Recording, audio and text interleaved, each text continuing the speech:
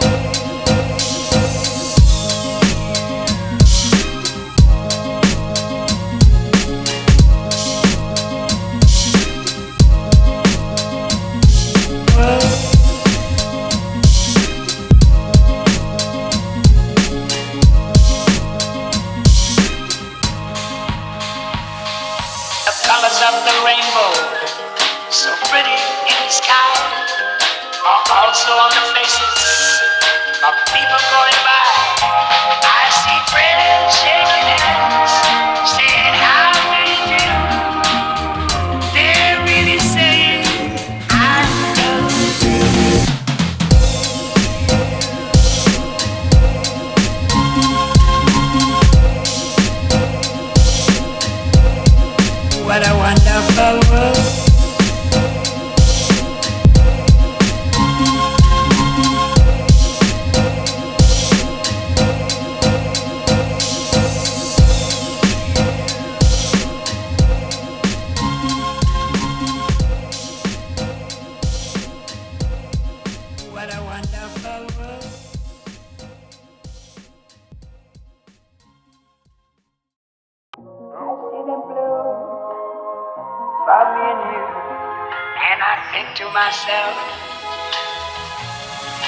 What a wonderful world.